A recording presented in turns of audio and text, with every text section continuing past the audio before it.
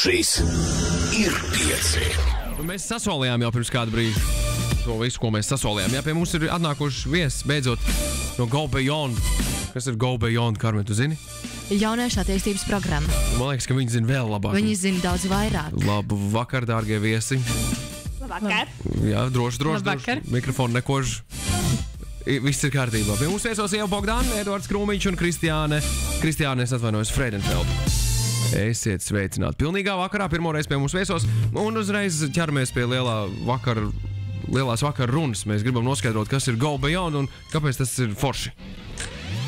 Uh, Go Beyond ir jauniešu attīstības programma, uh, kas darbojas jau četrus gadus, nu sāksim piekto.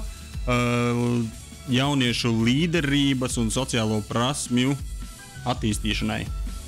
Tad vajag daudz līderus jauniešus. Bez šaubām. Labi. Vai jūs esat līderi? Mēs ceram, ka mēs esam uz to pusi. Tendēt, jā. Tiecamies. labi, labi, labi. Šis, šis ir ļoti interesants. Pastāstiet vēl sīkāk, kā, kā, kā notiek Go Beyond. Kas tur notiek? Go Beyond principā uh, tika izveidots tādēļ, lai uh, iemācītu jauniešiem to, ko nevar iemācīties augstskolā, skolā, uh, sociālās prasmes un dažādas uh, citas prasmes, kuras dzīvē noderēs iespējams daudz vairāk nekā nu, tas, ko mēs iemācāmies skolā. Tas ir ļoti super sarežģīts interešu pulciņš. Tā to Jā. varētu pavisam vienkāršā valodā nosaukt. Jā, okay. Ļoti labi. Tātad, ā, jā, ir, ja, man, ja man ir milzīga vēlme kādreiz būt par baigo priekšnieku, tad tas nozīmē, ka man ir tomēr jāiet, lai man dzīvē viss izdotos vienkāršāk, uz organizāciju jāprunājās, hei, es gribu būt daļa no jums, ņemiet man pulciņā, kādi ir kriteriji. Uh, Kritēriji ir tādi, ka jābūt jaunietim, vecumā no 18 līdz 23 gadiem, ar vēlmi pārspēt pašam sevi, ar lielu motivāciju un uh, attīstīties. 18 līdz 23, Karmen, man ir. Tev ir viss. es esmu. Uzredzēšanos, man viss. Turpiniet sarunu, turpiniet sarunu. Man interesē tas, kā Golbjorn jums pašiem ir palīdzējis. Kad jūs uh, piedalījāties šajā programmā un uh, kur jūs esat šobrīd? Mēs visi esam šī gada absolventi. Jā. Un, uh, man liekas, Gobijons mums visiem ir devis lielisku vienkārši pieredzi. Mēs esam kaut kur tur, kur mēs nebijām iedomājušies, ka mēs būsim pirms šiem desmit mēnešiem, kad mēs sākām programmu. Jā, kuriem desmit mēnešu garumā, sākot ar sociālajiem projektiem, individuāliem projektiem. Um, katram mums bija doti mentori, koči, koči jeb personīgās attīstības treneri. O, beidzot, zinām, kā to sauc. Latvijasiski. Personīgās attīstības um, treneri. Jā, un mums bija arī dažādi semināri, darba semināri, kur mēs esam ieguvuši ļoti, ļoti daudz vērtīgas pieredzes un zināšanas, kuras turpināt savā dzīvē pielietot. Ļoti labi izklausās. Mēs gribam dzirdēt, kā tas īsti bija. Šo jums arī visticamāk mācīs, mācīja vienkārši runāt, stāstīt par kaut ko. Ko jūs tur reāli darījāt? Kāds bija jūsu pienākumi, ko jums mentors stāstīja? Kādus ko jūs... projektus jūs veidojāt? jā, kur jūs bijāt, kur jūs attapāties, vai bija miegs un tā tālāk? Daudz jautājumu, uz kuriem jums jāatbild. Nu, Principā mēs aizgājām uz svešu vietu diezgan maz zinām par to, kas ir. Es runāju gan vairāk par sevi šobrīd. Uh, viss sākās ar četru dienu semināru viesu namā starp daudz svešiem jauniešiem, kas visi ir tendēti darīt labas lietas, attīstīties un veidot labāku savu un uh, Latvijas nākotni un arī pasaules nākotni. Un četras dienas intensīvu mācību un maz brīvā laika. Uh, smadzenes nodarbināts līdz pēdējam. Visas Tā tad miegs, nē? Jā, bet Oh, oh. iegūts daudz, daudz uh, jaunas zināšanas, atklāsmes un tāds uh, pamats iedots turpmāko desmit mēnešu darbības periodam. Pilnīgi skaidrs, ka jūs arī visticamāk iedalījāt kaut kādās noteiktās grupās pēc jūsu personības tipiem, pēc tā, kādi jūs esat kā cilvēki, un tad uz jums spieda uz vājām vietām un lika ā, saprast tās un, un kļūt par labākiem cilvēkiem šajās vājās, vājajos segmentos, vai es kaut kur esmu aizgājis, jo pilnīgi neceļos. Kā ir? Nu, vairāk gan bija tā, ka mums pašiem bija jāapzinās uh, savas vājās vietas, ko mēs gribam pilnveidot, un tad uz tām mēs arī spiedām un attīstījāmies. Kopā, man liekas, vairāk darbs bija tieši ar savu to koču, jeb personīgās attīstības treneri. Jo mums bija tāds tā kā līgums, kā varētu teikt. Apņemšanās. Apņemšanās. Mums Ar asinīm vajadzēja- parakstīts vai, vai ne? Vai... Bez maz vai gandrīz. Ļoti labi, ļoti labi. Un mums vajadzēja uh, programmas laikā divas kompetences attīstīt. un Tas bija tāds, man liekas, Hey, ko jūs katrs attīstījāt tādā gadījumā? Divas kompetences. kas to var atrast. Nu, nē, nē, šito jūs atceraties. Līgumā bija Labi, Es ierakstīts. varu sākt ar sevi. Tas bija līgumā ierakstīts trīspusējs paraksts apakšā, smart mērķu formātā. Uh, Cits starpā ļoti ātri var apgūt, kas ir smart mērķi un kāpēc tādi ir izvirzāmi un sasniedzami. Uh, un smart mērķu formātā manas kompetences bija darbs komandā un laika plānošana. Darbs komandā, laika plānošana, burvīgi. Meitenes Kas vēl? Kas vēl? Kas vēl? Es atceros vienu, kas noteikti bija, man bija kritiskā domāšana, manuprāt, nu, un, un, un spēja pateikt nē lietām, kas oh. nav, nav, nav mans prioritā, prioritāte. Vai tagad tev tas eh, noder? Ļoti. Iejot uh, kādā, kādā vietā, kur var nopirkt gan hotdogus, gan etalons un vēl visu Nē, kaut ko drīzāk spēj- drēbju apģērbu veikalā var Nu, pateikt. tur jau nē. vienmēr viņi to košļiņu piedāvā un kaut ko padzerties. Es Nu, tur gan nē, es Protams. nevēlos. Ļoti labi.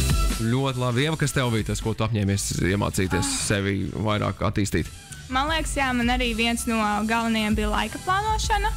Jo es biju diezgan pagaisu pirms tam. Es neteikšu, ka tas man ir baigi tagad mainījies, bet es vairāk nosaku kaut kādu struktūru, kā, kā plānot savu laiku. Un otrs bija um, satikt droši vien arī jaunus cilvēkus, dibināt kaut kādus kontaktus. Tas arī man bija svarīgi.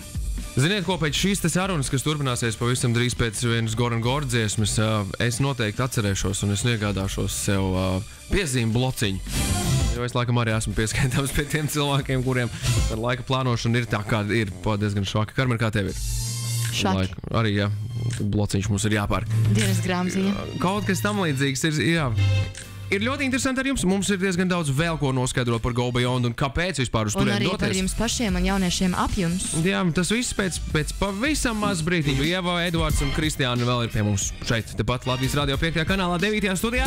Trīs jauni cilvēki, No Go Beyond izgājuši gandrīz tā kā armijas apmācības. desmit mēneši. Lielā dzīve ir priekšā. Kāda bija? Skola ir, skola ir bijusi, vidusskola bijusi, universitātes un tā tālāk. Kas bija citādāk? Kā parastā izglītībā, ko piedāvā mums valsts un arī dzēna vis kaut kādas citas iestādes. Um, Go Beyond atver acis uz pasauli. Es domāju, gan cilvēku ziņā, ka tu saproti, ka vienkārši cilvēki, kas ir atnākuši uz Beyond, kur ir izturējuši atlasi, visi ir tik šausmīgi motivēti, gatavoti darboties, vienu, viens otru atbalsta. Tas bija pirmais, kas man ļoti pārsteidza, kā var būt vispār tāda vide. Un uh, otrs, kas man ļoti, ļoti izmainīja, bija sociālais projekts kur uh, mēs braucām uz Ikšķili. Mūsu uzdevums bija integrēt cilvēkus ar īpašām vajadzībām pārējā sabiedrības daļā. Un sadarbība ar šiem cilvēkiem tiešām mainīja vispār manu uzskatu par to, kādi viņi ir. Un, uh, ka īsnībā jā, tā problēma nav tajos cilvēkos, bet pārējā sabiedrībā. Un Tas, tas tiešām bija kaut kas tāds, ko es nebiju gaidījis vispār nu, no tā Go Beyond.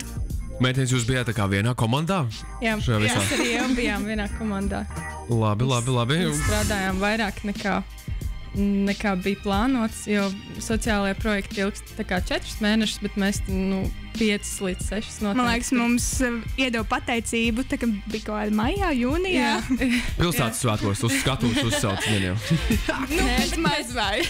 mēs bijām trīs reizes ikšķils vēstīs. ļoti labi, ļoti labi. Ļoti labi. Edvard, kā tev? Uh, man uh, par programmu, kā mācību vidi, Jā, Uh, hmm, ļoti interesanti, jo vidusskola vēl bieži vien saka, ir izvēles. Tu vari iet, var neiet, bet diezgan daudz aiziet vienkārši pēc nav kur citur iespējams likties. Un tad tu kaut kādas lietas dari piespiedu. Augstskolā arī daži cilvēki iestājas jau ar mērķi, daži iestājas vēl tikai, lai būtu kur pamācīties, jo vēl nesaprot īsti, ko dzīvē darīt. Bet uz Go Beyond jaunieši iet jau ar savu tādu motivāciju kaut ko darīt, ar kaut kādām varbūt idejām, kuras vēl nav tik skaidras. Un GoBeyond ietvaros viss tas process, gan sociālo projektu, gan pēc tam individuālo vēl vairāk. Tu vari virzīt pats tās lietas, kas notiek, un pats izvēlēties, pats ietekmēt procesus. Restīvi, nav tā, ka tu ej tikai kā ņēmējs, tu pārsvarā ej kā darītājs, un tev ļoti daudz palīdz un dod tos resursus. tā tad pro- ar darba darīšanu tu iemācies to, ko tu es gāju tur iemācīties. Bet, ja cilvēks ir tāds, kurš nav, kuram nav mērķa, bet viņš vienkārši grib pamēģināt, kā ir Gobion, kā tas ir, ir jēga vai nav jēga uzreiz, lai mēs saprastu. Nu, droši vien pieteikties var pamēģināt. Vai ir iespējams, ja kurā brīdī izdomāt, piemēram, ka vairs nevēlas turpināt un tad iet projām? Protams, bet, uh, lai tiktu go beyond, ir jāiztur diezgan liela atlase.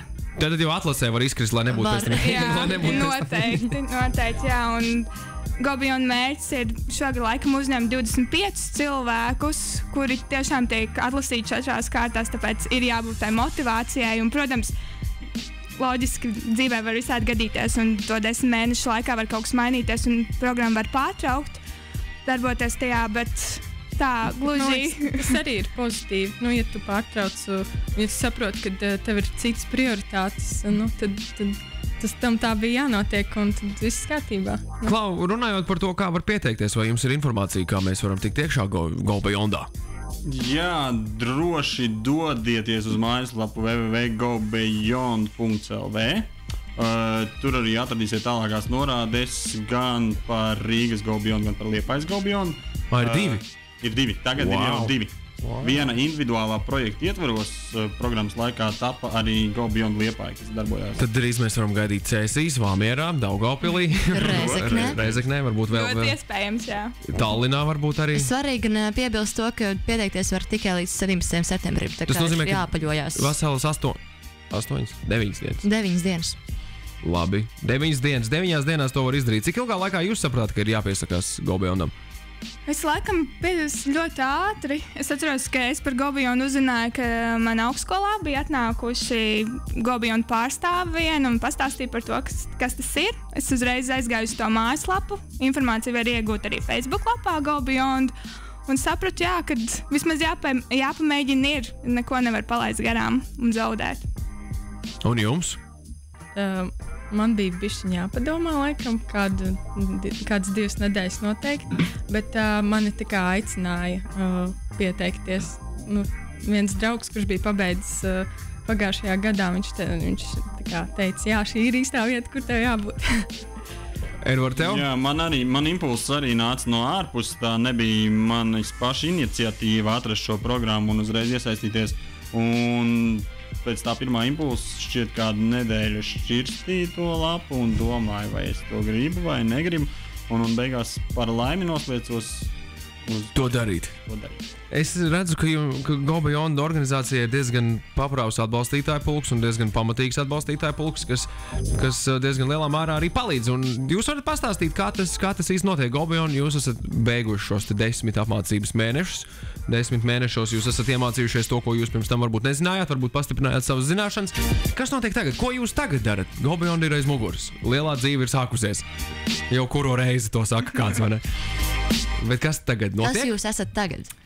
Nu, droši vien jau jāsāk ar to, ka Gobijona laikā tika mums izveidoti individuālie projekti, kas uh, manā gadījumā bija tāds tā kā uzņēmējdarbības veids. Es uh, nodibināju kopā ar savu brālēnu Greengrass. Kas Siguldā piedāvā Greengrass. greengrass. Ok. Jā, diezgan Labi. sezonāli, bet uh, jā, Mauriņš kaut kāds, jā.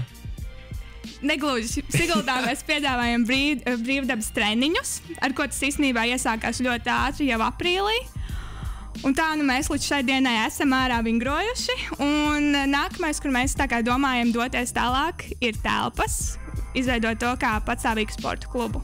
Ar zaļu zālīti, vai ne? Visur, visur. vai ne? Obligāti. Perfekti. Perfekti. Tas, man, perfekti. tas man liekas, bija pirmais, ko mēs iedomājāmies. Zaļa zālīte, un tad, nu, kāda varētu būt treniņi? Presīts var taisīt, atspiesties, piepumpēties. Sākam ar minimālo un darām tālāk. Ļoti, ļoti, ļoti labi. Eva, turpinam tālāk, Edvards. Uh, šobrīd arī mūsu individuālais projekts, mums bija ar Kristiānu kopīgs individuālais projekts, uh, saucās Trakum ar dažādām aktivitātēm saistīts ar tradicionālo kultūras mantojumu. Un kā noslēdzošais šajā projektā bija miera mūzikas koncerts, nu pat, nu pat 28. augustā. Un šobrīd vēl notiek dažādas diskusijas, kā tālāk attīstīsies tieši šis projekts pēc šī koncerta. Uh, šķiet, ka turpināsim arī turpmākos gadus, kā minimums līdz Latvijas valsts simtgadēji.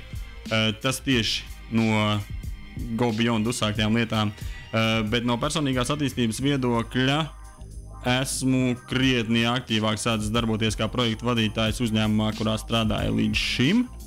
Uh, šobrīd ļoti tiek apsvērta doma par savu uzņēmumu dibināšanu, kur vēl šādi tad- tādi gali Bet jau jāsavalk. zinu, kurā virzienā tu dosies ar savu uzņēmumu. Iesākumā turpat, kur pagājušajā gadā adīšu šalles. Uh, lai cik jocīgi neizklausītos. Kāpēc? Kāpēc? Viss, viss mierīgi. Jā, labi, viss mierīgi. Tad labi. Uh, un, un, un, un, un, un ir arī dažādi plāni attiecībā pret nākotni, attiecībā pret uh, tēvu, tēvu, tēva, tēva, pareizāk, uh, zemi un īpašumu laukos, kur ir nepieciešama attīstība un vidas iekārtošana, kur tad arī būs jāliek spēki un nepieciešama resurs. Kristiāna, kas tev paredzēts tuvākā, Ar ko tālākā tu nākotnē? nodarbojies šobrīd? Jā, kā jau e, Edvards minēja, trakums turpinās. Un uh, plānojam dibināt arī biedrību pret, pēc šī projekta, un tad arī turpināt uh, organizēt dažādus seminārus par latviešu tradīcijām un to izmantošanu mūsdienās, un, un pa, mēģināsim parādīt tās tradīcijas mūsdienīgā gaisotnē.